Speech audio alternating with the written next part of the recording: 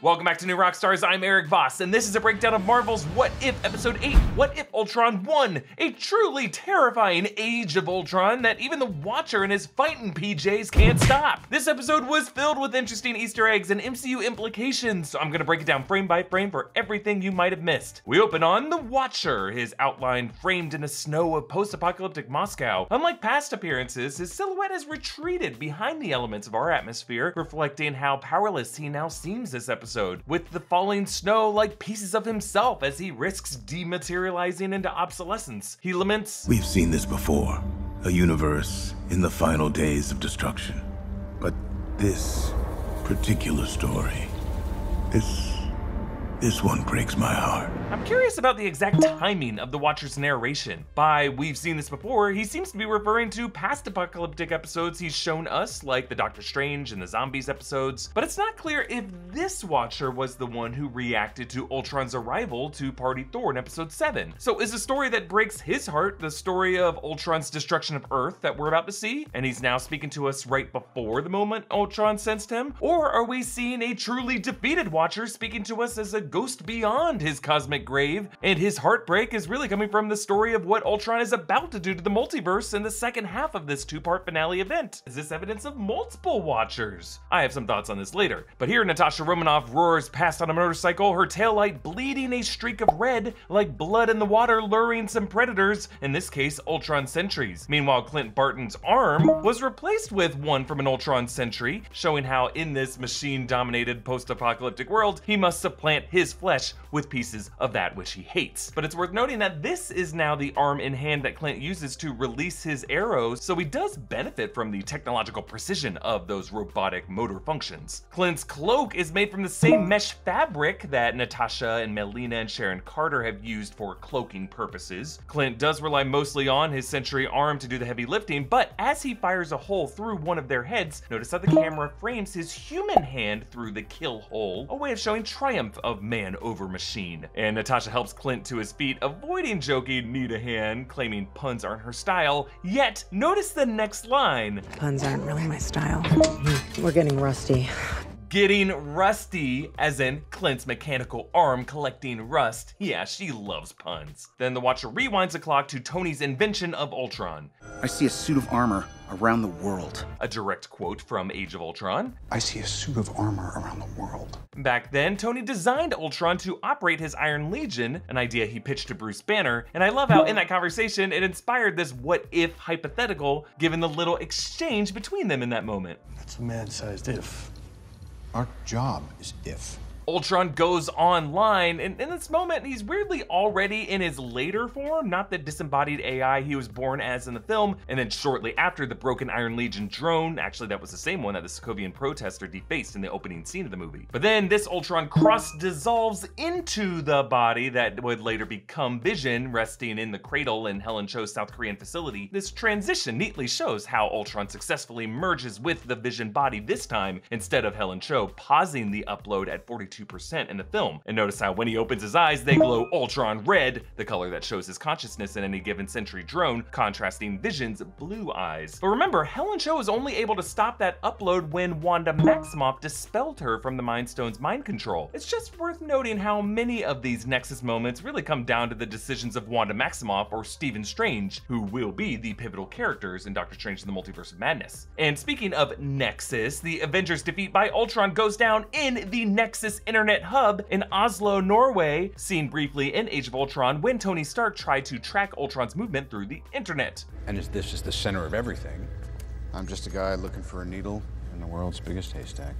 Oh, I'm decrypting nuclear codes and you don't want me to. Aha, so Ultron ascends on his path toward becoming a Nexus being at the Nexus Internet Hub. Now, theoretically, Ultron's assimilation would have occurred right as Tony made that crack about the nuclear codes, which could have actually led Ultron to this place to initiate global nuclear annihilation, which is way more fun to wipe out the human race than throwing a chunk of a city back at the surface.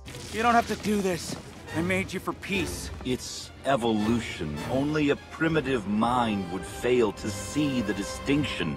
which is why you have to die. Now, replacing James Spader as Ultron in this episode is Ross Marquand, the voice of Red Skull. Now, notice the visual of Cap's shield broken in half and his body strewn alongside those of Thor and Hulk, as Stark is just left to watch it all. This is exactly Tony's nightmare vision cursed into his mind by Wanda Maximoff come true. And this episode makes it the fourth one to kill off Tony Stark, really the only Avenger to die on screen in every repeat appearance on the series. It's almost as if this guy needs to die for the multiverse to move forward. Actually, I have a video coming out in a few days exploring how Stark's death may actually be an absolute point. Now, during the sequence, the Watcher's hand swipes over the frame, transitioning it with this kaleidoscopy texture from the main MCU reality to this alternate one. These what did happen slides have always had a storybook aesthetic in past episodes, and now we see why. Because to the Watcher, he is flipping through the pages of what's essentially a comic book that he's already read, and in his case, peering from one crystalline window into another. Thaddeus Ross watches in horror as ICBMs strike all over the world. Notice how one ICBM from the Texas region, if you follow its trajectory, is headed right for Wakanda, which Ultron must recognize as a global superpower alongside the US and Russia and China. Thanos portals into the aftermath just as he arrived in Infinity War. Now he already possesses the power, space, reality, soul, and time stones, meaning he must have begun his stone quest earlier in this universe. Perhaps Ultron killing Thor and or the Ancient One in the nuclear blasts could have cleared a path for Thanos to go to Xandar for the Power Stone, to Asgard for the Space Stone, and so on. However, Gamora is still alive on the Sovereign, so he could not have sacrificed her on Vormir to get the Soul Stone. Now, Gamora could have sacrificed Nebula to get the Soul Stone, but would she have parted ways with it without giving her life? Hmm, see, folks, when it comes to the Infinity Stones, this show doesn't really consider their exact continuity that big a priority, it turns out. So we are best chalking it all up to In other universes, the stones are wherever they need to be for the story to work.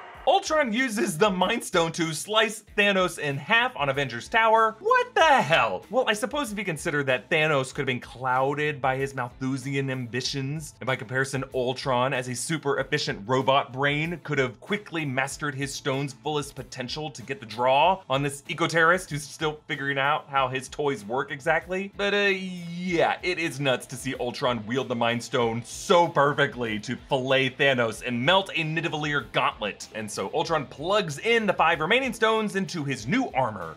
Wow. There are worlds that need me. Yeah, notice how the stones emit that heavy tone? The same sound that we heard Thanos' gauntlet would make in Infinity War when emitting stone energy. Ultron materializes an army of sentries using the Reality Stone, but also they come together in this black ink dot effect. Now, in comics, this is known as the Kirby Crackle or the Kirby dots, created by artist Jack Kirby, who would use similar dots to convey cosmic negative space around energy. These Kirby dots return around most of Ultron and the Watcher's attacks later in this episode, and it elevates Ultron to a Jack Kirby cosmic level character like Galactus. And I love when the show uses ink in this way, like how they show Doctor Strange's universe melt back into comic book style ink, the base elements that form all of these characters. Ultron first destroys Asgard. I think the imagery looks a lot like when those alien battleships strike skyscrapers in Independence Day. But if you go through frame by frame as Asgard explodes, notice the water pouring down from the edges of the disc vaporize before the whole plane obliterates, just like it did when Surtur destroyed it in Thor Ragnarok. Then onto the Sovereign, which you remember from Guardians Volume 2, and we see Peter Quill and Gamora and Drax fighting on that same platform that they fought the Obelisk. And since this is in 2015, this is a place they already would have been to because Guardians Volume 2 takes place a month after Guardians Volume 1. Then we go on to Sakaar, where sentries pour into the Grandmaster's arena. You can see Korg fighting alongside that strainer-headed gladiator from Thor Ragnarok, who also cameoed in last week's Party Thor episode. The Grandmaster dies in the blast as well. And then Ego gets hit, looking just as he did in Guardians Volume 2. The craters on the surface make his face in a shocked expression with his mouth gaping open and his eyes widening. Oh no, I haven't had a chance to bang the other half of the universe yet. And then on to Xandar, which of course you saw in the first Guardians. During the Sentry attack, the Nova Corps tower does appear to be under reconstruction. Not just wreckage that Ultron has just caused, but apparently some attempts to rebuild from some past conflict. I thought it was just from Ronan's assault in the first Guardians film, but at the end of that movie, it was not this much under repair. So we might be looking at the aftermath of Thanos' recent attack to steal the Power Stone. It would justify how he got that stone, at least. Captain Marvel arrives to fight Listen, Skynet. I've seen the Killer Robot movie, and I gotta say, I really don't think it needs a sequel. Yes, Skynet, referring to the robotic AI computer network that nukes the planet in the Terminator franchise. But this line about the sequel, well, we know Carol got abducted in 1989 and returned to Earth briefly in 1995, but then seemed to jet off with the Skrulls. She did land in a blockbuster, but I don't think she had enough time to know that a sequel to the 1984 Terminator, the amazing T2 Judgment Day of 1991, was a way better film. So this killer robot movie that she was referring to totally needed its sequel, and her wrongness on this point, in my opinion, makes her deserve to lose to Ultron here. Now, Ultron was just about to call it quits. It's done. At last. The realization nearly broke the machine. Shut up, Uatu! The Watcher monologuing here did amount to intervention, because had he said nothing, Ultron may have self-destructed or retired and never thought to move on to the other universes. So the Watcher has already kind of intervened. He's gonna have to intervene to undo his intervention. Even after Ultron senses him behind his back, the way Doctor Strange did in episode 4, the Watcher continues. Who said that? Basking in the boundless silence of his universe, Ultron ascended to a previously unattainable level of consciousness. He became aware of another. He became aware of the... I see you. Yeah, this moment of realization is odd because, yeah, again, we saw a separate moment of the Watcher first seeing Ultron Infinity at the end of the Party Thor episode. So when did the Watcher first recognize Ultron as a multiversal threat? Then or now? Now, here at New Rockstars, our sharp wit and keen eyes can cut through the web of information out there to give you top-notch content, but to cut through food, you need Kamikoto knives. Kamikoto makes great Japanese steel kitchen knives using traditional techniques from Japan. Their knives are used by Michelin star restaurants around the world. They only use premium steel sourced from mills in Japan, and each Kamikoto knife is individually inspected after a 19-step process, which makes them so confident with their knives that each one comes with a lifetime guarantee. Each knife comes in a beautiful ash wood box that keeps the knife stored safely and makes a Kamikoto knife a great looking gift. They offer a range of Japanese steel knives from the 13 inch Yanagiba that can slice a full watermelon in half down to the 5 inch blade better suited for the smaller fruits and veggies like a miniature watermelon. I grab a Nakiri knife and it feels incredible in my hand. It looks really cool and feels well balanced and super functional. It's got me itching to dice. Kamikoto has a big sale going on and is offering our viewers an extra $50 off any purchase with discount code New Rockstars. So head to kamikoto.com slash New. Well, the Watcher does say here, I have seen everything that has ever happened, ever will happen, ever could happen, and yet, what the hell is this? Now, yes, there are multiple Watchers in existence, but I think this one voiced by Jeffrey Wright is just the same Watcher that we saw at the end of episode 7. And I think this is his way of describing how he is just a multiversal being with his perception divided across an array of moments in history. Kind of like He Who Remains, he's able to see the past, present, and future all at once. And we have one set of his eyes reacting to Ultron crashing Party Thor, and another set of his eyes reacting to Ultron here. And that only when Ultron responds to him behind that prism wall, despite him trying to wipe the blinds closed, does he finally see him as an existential threat to his script. And the heartbreaking aspect to the story that the Watcher at the beginning of the episode is talking about is literally Ultron breaking the heart of his Prism multiverse. That's why this story breaks his heart more than the others. Also notice how much the Watcher blinks here? That was a little detail I pointed out last week as just a bit of evidence of Uatu's human-like fallibility. And now he blinks like crazy as if trying to wake up from a dream.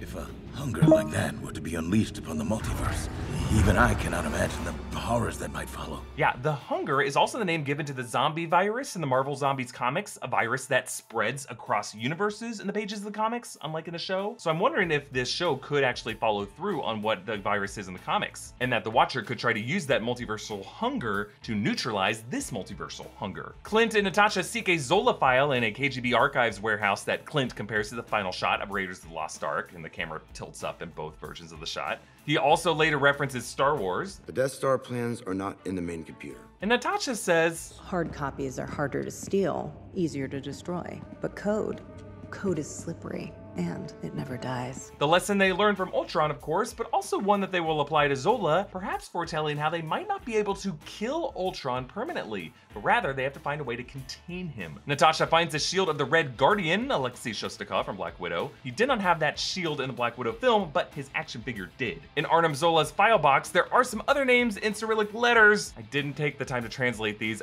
Oh wait, of course I did. They seem to be the names of a bunch of artists who worked on the What If series. There's Paula He's the What If production designer. Then Molly Sotak and Fran Portillo, they're design coordinators for Marvel Studios. Then Cynthia Halley and Peter Bertucci, those are Marvel Studios artists. And then in the later shot, as Natasha thumbs through these, you can see Joshua Bramley, he's the What If asset supervisor. And then Sean something, and then El Grasso, and then Zachary, split up into two words, and then May Fam, maybe my family. I'm just assuming all these are crew or friends and family. These are just the ones that I spotted. Ultron breaks into the Watcher's domain. I found you. I finally found you.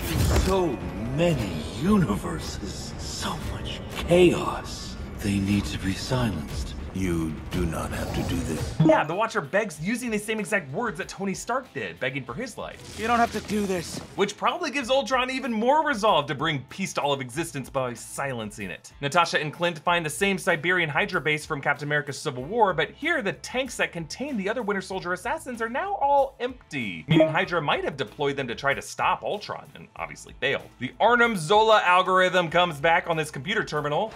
Agents of S.H.I.E.L.D. Romanov, Natalia Alyanovna, Barton Clinton Francis. Of course, similar to how he greeted Steve and Natasha at Camp Lehigh in Captain America Winter Soldier, except now he calls them Agents of S.H.I.E.L.D. R.I.P. So, in addition to Zola's AI presence living on in Camp Lehigh, secretly corrupting S.H.I.E.L.D. as Hydra, Zola was also present as a backup in the same place that Tony Stark realized Bucky killed his parents, and Cap knew about it, leading to their fight. Makes me wonder how maybe in the main MCU, Zola could have been a silent partner to Zemo and helped supply him that footage as a way to hunt the Avengers from the grave of Hydra and giving one last FU to Captain Rogers. Either way, folks, Zola lives. Now, they try to use Zola to infiltrate Ultron's code via his Sentry hive mind, the same way that he infiltrated S.H.I.E.L.D., and Clint does this by downloading him in one of his arrows, using that same awesome USB drive arrow that Clint used in the first Avengers film, and he plugs it into an Ultron Sentry with some cool color coding here, Zola's AI green replacing the Ultron red. Go light and Stoplight. They climb the same silo that Stark chased Cap and Bucky up in Civil War, and we see various alternate functions of Clint's arrows like laser netting, a force field barrier, and one that just has a powerful boom boom, which might be what Clint is referring to with Kate Bishop in the upcoming Hawkeye series. This is too dangerous. Holy sh! There arrows more dangerous than that one? Natasha catches Clint, but in a mirror of Natasha's death in Endgame, Clint forces her to let him go. Actually, in the first Avengers film, Clint dove and turned back upwards mid-air to fire arrows up, but here he turns mid-air downward to face certain death. I love this shot of him falling slow motion into the swarm of Sentries, Beautiful composition. Notice how they tilt the whole silo at an angle to make Clint's drop look like a deliberate strike and then they widen out the silo way larger than it actually is in order to heighten the contrast of the one versus the many to give it all a more epic scale. Natasha lands from the explosion in the snow, making the pose that Yelena made fun of her for in Black Widow. Meanwhile, the Watcher and Ultron duel, and it rules! Uatu withstands a double blast of the Reality Stone and the Time Stone, though note that in this domain, which might be Uatu's version of the Mirror Dimension based on how it looks, Ultron doesn't use the practical functions of the Time Stone or the Reality Stone, like rewinding the flow of time or like turning Uatu's robes into beetles. They're simply just big energy blasts. And that might be a limitation of the stones outside of any one reality. Like you still remain an all-powerful Nexus god, but the specific unique functions of the stones themselves might not be exactly usable here. Now the Watcher defends himself. I swore an oath. I cannot exert my will in the natural order of things. I cannot intervene. To did the Watchers swear this oath? In the comics, Uatu is one of many Watchers, the one assigned to our universe, and we know others exist in the MCU from the Guardians Volume 2 scene, but we may have to see Uatu answer to his fellow Watchers for his interference. Uatu blocks Ultron's Kirby crackles with a shield of glowing lines that look like celestial design, like the cosmic energy used by the Eternals. The Watchers and the Celestials have an antagonistic relationship in the comics over whether or not to interfere. Watchers swear not to, Celestials can't help monkeying with the monkeys. But notice how Uatu suits up in this combat armor, kind of like the Watcher Aron the Renegade from the comics. But the fact that Watchers have armored forms, just like the Celestials have these armored forms, might be a clue that these two entities might have been at war with each other in eons past. Ultron tackles the Watcher through these different worlds. We see this pyramid planet, then an ice planet, then this interesting molten lava planet. Actually looks a lot like Mustafar from Star Wars. There is a castle in the background that looks like Vader's fortress. And come to think, the jungle planet did have some flora similar to the plant life of Felucia from Star Wars, so the animators might have worked in some Star Wars nods here. And then another ice planet, and then this rock planet with floating columns that a gargantuan Ultron bites down on, looming even larger than the whole galaxy, clearly a nod to Galactus, devourer of worlds, an entity that we have been pining to see in the MCU. I think it's the show's way of striking fear and awe of Ultron Infinity as a Galactus-sized threat. But even Galactus doesn't consume celestial bodies out of spite like this. He's driven by a custodial drive to Marie Kondo, the universe of dying dysfunctional planets. Then the Watcher crashes into Times Square with onlookers, including that pineapple shirt guy from Vegas in episode 7. There's also a billboard for Olympia the musical, as we saw in Times Square in episode 3, but nothing yet about Rogers the musical, because I guess here Steve Rogers is taking the oath of office to become the US president, something that does happen in the Ultimates comics. But perhaps in this universe, Steve Rogers only ran to prevent candidate Loki from becoming president. And that could be how that Loki got pruned to the void. Ultron's punch turns Times Square into Wakanda, and then to a medieval castle, and then to the Skrull Society, this could be their throne world of Tarnax 4, and then ending on another frozen planet, bringing Uatu full circle with the snowy beginnings this episode. Notice how as Ultron hmm. tries to crack the Watcher's head like an egg, steam sizzles off of it in the cold air, and this is also the way Captain Marvel tried to implode Ultron Ultron's head on Xandar, just showing how with every fight, Ultron is learning a new way to kill someone. But the Watcher is able to break free and retreats to his purple sphere, where back in episode 4, the Watcher left Strange supreme. This time the framing is reversed from their first encounter. Uatu now looks over his shoulder to see Strange creeping up behind him, with all of his monstrous entities still part of him. But of course, Uatu has come here because Strange is the one other Nexus level being he might know of who might be able to help him fight Ultron. Are you ready to break your oath? Yeah, interesting to hear Strange talk this way as a doctor bound by his own Hippocratic oath to do no harm. But that doesn't apply to robots, I bet. The Watcher changes his tune. I see now. I need your help.